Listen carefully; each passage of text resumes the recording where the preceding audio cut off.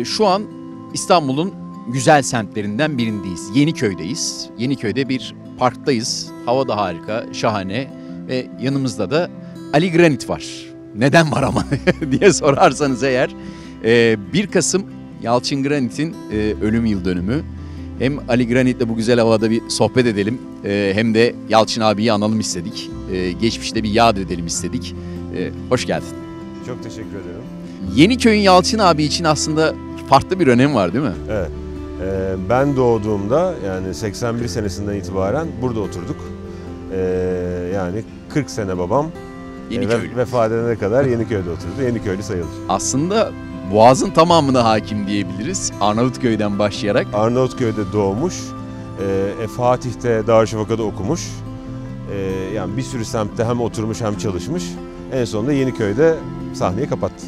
Aslında burada Yeniköy'de e, ilerleyen dakikalarda onunla konuşacağız ama e, kurduğu bir spor okulu var açık sahada Evet. Yalçın abinin. E, aslında ben ilk oraya gittim ama orası şu an halı saha olmuş, futbol sahası olmuş. Arkamızda da şu ileride de e, yine bir tek bir pota var. Evet. Yalçın abinin dokunuşları var burada.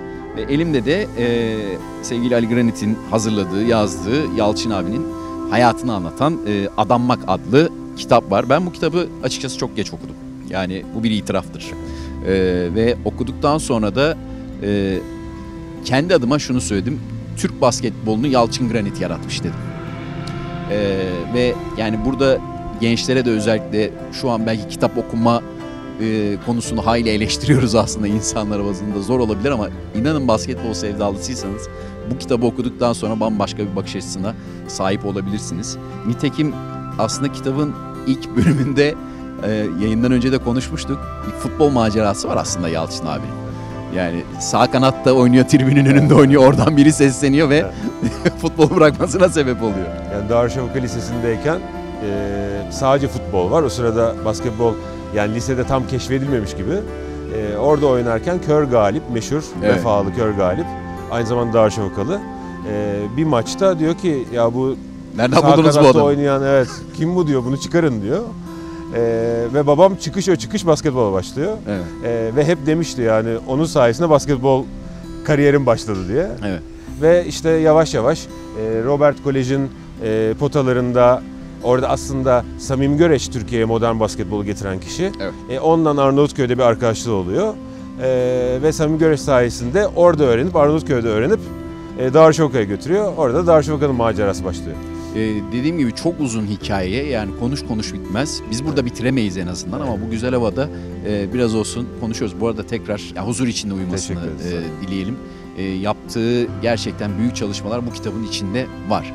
Ben şunu soracağım sana aslında. Şimdi 81 yılında Evet. sen dünyaya geliyorsun. Ee, babayla arada aslında 49 yaş var. Doğru. Yani e, çok da kolay bir yaş farkı değil. Doğru. Ve e, bildiğimiz kadarıyla gerçekten hani derler ya kafayı basketbola takmış bir adam. E, ve e, bambaşka Onu şeyler tarif yaşamış. etmeye imkan yok. Yani, Yani neler ne, yaşadı, nasıldı diye sorsam. yani ne kadar taktığını e, pek anlatmaya imkan yok. Kendi e, kafadan sakatım derdi bu konuda. E, yani şöyle söyleyeyim. Ben kitabı yaparken de işte belki 150 kişiyle yüz yüze geldim. Bütün basketbol camiasını aslında baştan tanıma fırsatı buldum. E, tabii babamı çok övüyorlar, ediyorlar. Babam bir sürü şey yapmış. E, yani kariyer manasında. Ama ben bir konuda e, geçilemez görüyorum. O da basketbola harcanan mesai manasında. Yani hani gündüz kulüpte bir şey, akşam maçlar, maç seyretmeler. Yani artık ben derdim ki bir saatten sonra herhalde Japon Ligi başladı. Çünkü gece 1'de bizim kanallarımızda maç yok. Yani o biter bir koçu arar, ona işte görüşlerini söyler, seni arar, başka bir şey söyler. iyi sundun, şöyle yapman lazım böyle. Yani bitmez, gün bitmez ve hakikaten 20 yaşından başlasa ya da aslında daha erken 15 yaşından başlasa 88 yaşına kadar o kadar sene onunla yaşadı. Ne kadar sürdü peki kitabı hazırlamak? Yani 3 sene sürdü çünkü e, yani ben 12 tane gazetenin her gününün spor sayfasına o gazetelerin çıktığı dönem boyunca baktım. Yani 15 sene yayınlanmışsa diyelim İstanbul Express gazetesi onun her gününün spor sayfası. Milliyet gazetesi 50 sene yayınlanmışsa onun her gününün spor sayfası. Yani Allah'tan en azından o zamanlar babam ünlüymüş ve hani spor sayfasını açınca karşıma çok çıktı. Ama sonralarda mesela ufak ufak minik kupürlerden çok keşifler oldu. Atıyorum Beyoğlu Spor diye bir meğer meşhur olan hani benim cehaletimden bilmediğim bir şimdi de olan bir 100 yıllık kulübün antrenörlüğünü de yapmış. Yani Evet. Galatasaray'ı e, Hasnun Galip sokakta çalıştırırken arka sokakta Beyoğlu Spor'da yani biri birinci ligde oynuyor, biri ikinci ligde oynuyor. E, ikisini de aynı anda çalıştırmış gibi küçük küçük anekdotlar. E o zaman bitmiyor zaten. Birdenbire bir Beyoğlu Spor diye hiç bilmediğim bir şey açılıyor karşına. 3 sene sürdü. Bir de herkes göreyim istedim. Yani malzemecisinden kulüp başkanına, gazetecisinden yani herkes göreyim istedim. Dolayısıyla e, aslında iyi bir kitap oldu. Yani ben de hani yayıncılık, yayıncılık yaptığımdan dolayı söyleyebilirim. Doğru düzgün bir kitap oldu. Yani e, ben çok açıkçası e, sporcu profili e, veya spor dünyasında yaşamış insanların kitabını okudum, baktım, bir göz gezdirdim. Özellikle çeviriler konusunda biraz problem var ama yani bu kitabın çok eşi örneğini olduğunu düşünmüyorum. Yani Türkiye'de zaten e, spor kitabında çok eksiyiz. E, aslında e, sporcular da eksik. Yani onların da talep etmeleri konusunda eski sporcular yani buna babam da dahil yani babam kitabı yaparken "Ya Ali bir şeyler yapıyor dedi ve sonra kitap çıkınca aa hani ya bu gerçekten bir kitaba benziyor diye Evet. tamamını okuduğumdan emin değilim yani hani e, okumamış olabilir ama yani o ilgiyi özellikle belli bir başarıyı göstermiş olanlar zaten doymuş oluyor, göstermiyorlar. Halbuki aslında ki sonraki jener- jenerasyonlar için çok önemli. Evet. Yani ne benim aslında kitabı yapma isteğim de ondandı. Yani bu adam bir şeyler yapmış, kulaktan dolma bir şeyler diyor, yenilmez armadalar falan falan ama nedir bu dediğimde e, o zaman bir önüne bayağı bir şey açılıyor. E, bu babam için olan bir şey değil yani bu 20 sene sonra bunu okuyacak çocuk için yazılmış bir kitap. 50 sene sonraki çocuk için yazılmış bir kitap. E, dolayısıyla sayısının gerçekten artması lazım. Lazım kesinlikle. Çok önemli figürler var spor dünyamızda diye düşünüyorum özellikle. E, peki şunu soracağım. Aslında yani e, günümüzde Yalçın abi gibi bir figür olsaydı veya basketbolculuk anlamında, popülerlik anlamında e, ya paralar başka bir boyutta o dönem, yaşam başka bir boyutta e, ve yani başka bir herhalde marka olurdu diye düşünüyorum. Ama o dönem 25 yaşında aslında basketbolu bırakan bir adam hayata tutunmam gerekiyor, Evet. ticaret yapmam gerekiyor diyen bir insan var karşımızda. E, jeolog aynı zamanda babam. Evet. E, İstanbul Üniversitesi'nde e, asistanlık yapıyor. Dolayısıyla oradan para alıyor. E, yani ondan geçinmesi lazım. E, evlenmiş vesaire. Yani öyle dertler var. Basketboldan neredeyse hiç para kazanılmıyor. Belki bir yol parası gibi bir şey veriliyor. Ne kadar ünlü olursanız olun.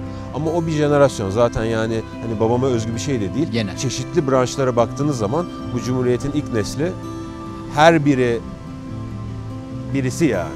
Yani babamın takımında Ali Uras, Profesör Doktor Ali Uras işte bir, bir sürü sayabilirim. Yani e, hepsi biri. Evet. Yurt dışı deneyimi de var ama.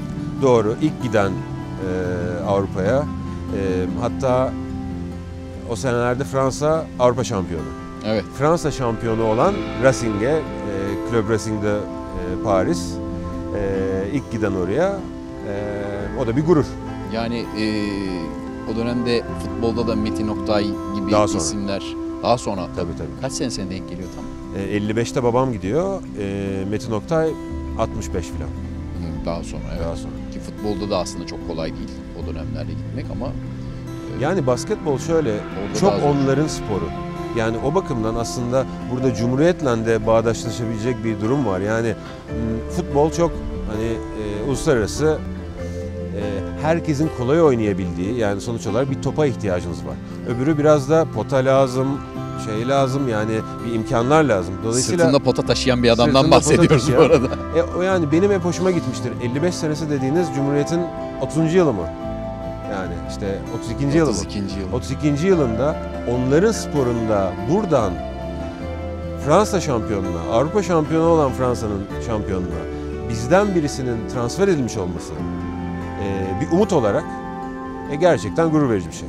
Yani bunu babam falan meselesi değil yani bu Türkiye adına e, güzel bir şey olmuş. Sezon sonunda dayanamıyor ama geri geliyor Şöyle Fenerbahçe düşünün. maçında oynamak Babamdan sonra giden İbrahim Kutluay 50 yıl sonra. için. 50 yıl sonra. Evet. Yani Yani gitmek öyle basit değil. Kesinlikle. Ee, ben bir de yani Yalçın abiyi tanıyan insanlarla sohbet ettiğim zaman özellikle şunu çok söyleyen oluyordu. Sen az önce dedin ya hani tarif edilmez o diye. Ee, e, hasta yatağında bile ziyarete gelen olursa şunu soruyormuş. Ya ne yapacağız bu basketbol için? Ne yapabiliriz basketbol için? Hep aklı hala, orada. Babamın hasta yatağı şöyleydi. Son 3 senesini biraz kötü geçirdi. İşte kalçasını kırmıştı. Bir Evet. kanser macerası oldu falan. Ama hasta yatağı dediğimiz karşısında bilgisayardan e, ekrana verilmiş bir e, işte atıyorum basketfaal.com sitesi. Evet. E, öbür tarafta televizyonda zaten maç oynanıyor. Burada da telefonda da atıyorum İsmail Şenol'la akşamki maçın şeyi konuşuluyor. Konuşuluyor. Evet. o Evet, evet. Peki şimdi olsaydı Yalçın abi mesela diyoruz ya bir spor okulu muhabbeti var burada açık Evet. sahada. Şimdi Ya, spor okullarının Onu durumu size anlatmak bambaşka. isterim. Şimdi Ne iki- yapmak isterdi? Ne yapardı?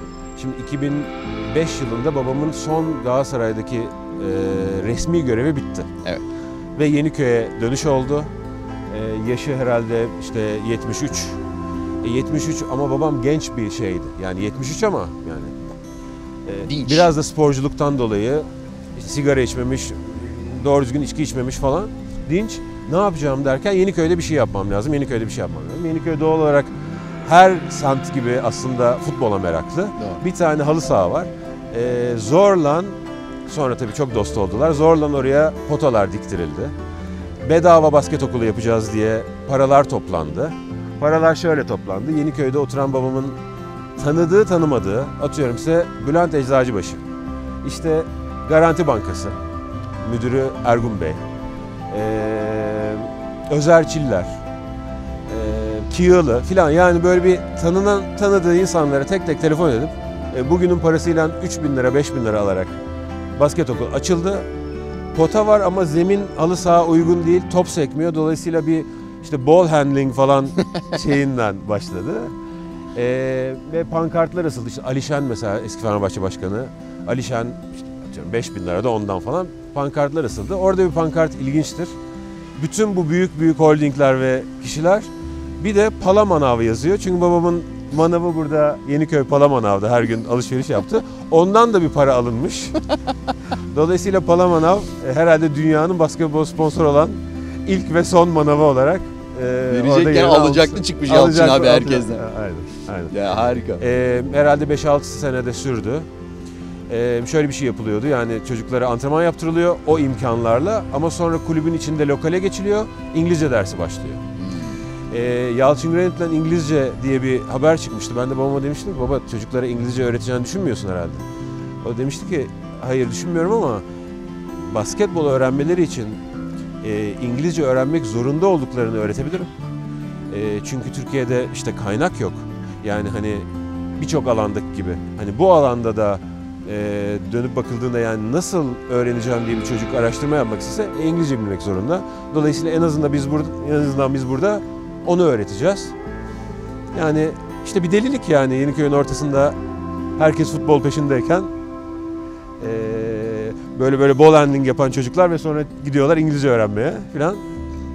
Böyle bir şey. Müthiş idealist bir Evet evet. e, Yani. yapı. Şimdi tabii e, baktığımız zaman 3 Euroleague şampiyonluğu geldi Türkiye'ye. E, çeşitli Avrupa kupaları geldi. E, ama kitabı okuduktan sonra özellikle Yalçın abiyi tanısaydım şöyle derdi diye düşünüyorum. E, iyi hoş kazandılar ama bizim e, daha çok bu kazanan takımlarda Türk oyuncu Mutlaka. koymamız lazım. Mutlaka. Neler, hangi çalışmaları yapmamız lazım deyip Evet. o şampiyonu bir şekilde bir aşağıya çekerdi Evet. diye düşünüyorum. Katılır mısın? Doğru yani babam mesela tabii Darüşşafaka camiası, Galatasaray camiası ömrü geçmiş sadece Galatasaray'da oynamış. Ama bir maç izlerken ben biliyorum ki takımların çok üstünde diyeyim. E, kaç Türk oyuncu oynuyor? Bunlar nereden yetişmiş? Koç Türk mü? Yani biz bu işi Türk basketbolu olarak e, bir yere getirebiliyor, getir, getirebiliyor muyuz diye bakardı. E, yani bence Euroleague şampiyonluklarına da o gözden bakacağını düşünüyorum dediğin gibi yani. Değil mi? Yani yanlış Evet, düşünmüyorum evet, her evet, türlü. evet, E, milli takım mesela maalesef şu an iyi sonuçlar alamıyor. Hatta yani voleybolda büyük ihtimal bahane edip Evet, daha da hırslanırdı diye tahmin ediyorum Yalçın abi. E, Eczacıbaşı'nda onun derdini çekmişler zaten. Eczacıbaşı'nda bir voleybol, basketbol Evet. çekişmesi vardır babam da oradayken. Evet, Tatlı bir çekişme tabii. E, voleybolu tebrik etmek lazım yani bambaşka bir şey yaptılar. kesin. E, inşallah basketbolumuz da yapar. Hı. Peki e, tekrar Yalçın abiyi anmış olalım. Çok E, teşekkür ederim. Sen Çok- neler söylersin? Yani 3 yıl oldu ama e, dediğim gibi yaptıkları ki Cumhuriyetimizin 100. yılındayız. Ee, yani Cumhuriyet'in büyük bir bölümüne dair yaptıkları var. Yani şöyle, e, ben bir site açtım yalçıngranit.com diye. Orada da babam 68 e, yılında ilk yazısını yazmış. Dediğin gibi hasta yatağından basket faale son yazılarını yazarak işte Hürriyet, Milliyet senelerce yazdı ve e, herhalde 50 sene boyunca basketbol hakkında yazı yazdı. Dolayısıyla oradaki yazılar günümüze çok uyarlanabilir gözüküyor. Yani senin bu sorduğun Euroleague sorusunun cevabı aslında oradaki yazılarda 2020'deki bir yazıyı okuduğunda orada gizlidir mutlaka. Yani bazı adamlar zor ölüyor. Yani bence babamla babam da onlardan bir tanesi. Çok güzel. Ee, yani o site orada durdukça dönüp bakılabilir. Ama ilgine çok teşekkür ederim. ben teşekkür ederim bu güzel sohbet için. Sağ ol.